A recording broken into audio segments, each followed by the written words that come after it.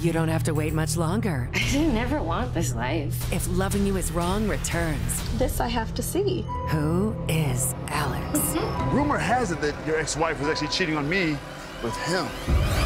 You're gonna find out. Thank you. Perfect. Are you worried, officer? I feel like a caged animal in here.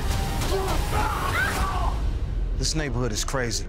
Tyler Perry's If Loving You Is Wrong season premiere Tuesday, March 31st, 10, 9 central.